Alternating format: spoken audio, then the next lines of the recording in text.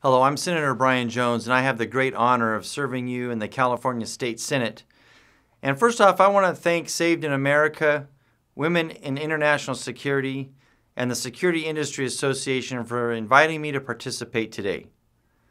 All of you are heroes and are doing great things to help keep people safe and to help rescue people from heartbreaking crime of human trafficking. I also want to applaud all the good work being done by my fellow panelists, Stephanie Brown, Maureen Toll, and former Attorney General Adam Laxalt.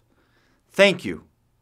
As we all know, everything today is magnified by the coronavirus COVID 19 pandemic. This unfortunately also includes human trafficking activity.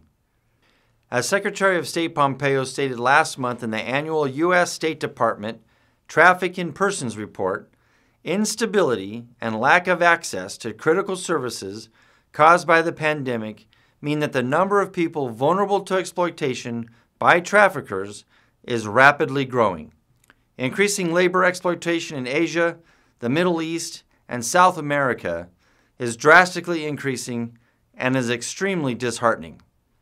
The COVID pandemic and all of its effects worldwide are unfortunately creating more trafficking opportunities for entities in countries such as China, Pakistan, Afghanistan, and Nicaragua.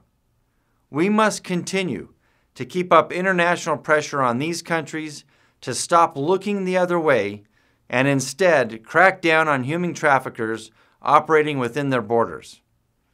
We also know that unfortunately human trafficking is not limited to foreign lands, and we still have major challenges here in the United States and right here in our San Diego region. There was a very interesting discussion last month on KPBS about how the number of reported cases of online child exploitation has tripled in San Diego County since the COVID pandemic began. Kids are home from school all the time now. They are online and social media a lot more now and are even more susceptible to online predators that lurk out there. These predators prey on the innocence and vulnerability of children, often luring children into sending photos or videos of themselves. Summer Stephan, the San Diego DA, and Bill Gore, the San Diego Sheriff, have set up a task force to specifically go after these creeps that target your and my kids. I know many of you are working with the DA and Sheriff, and again, I applaud you for your efforts. I'm not telling you anything new one of the best preventions of child exploitation is getting parents involved and aware of what's going on early in the process.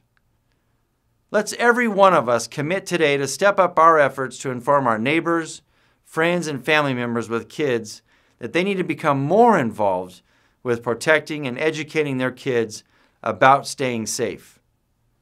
The issue of human trafficking knows no boundaries and is one of the examples of an issue that truly receives bipartisan attention in the California legislature.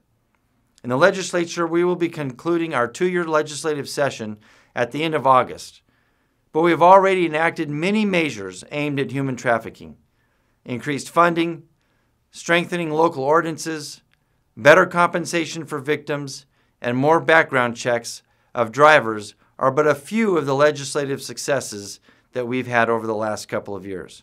However, we can do more. We all need to do more, and we all will do more. We have no choice. Too many human lives are still too vulnerable. Thank you for all the great work that you're doing. I appreciate all that you do and commit to you my service in helping eradicate child trafficking from our country.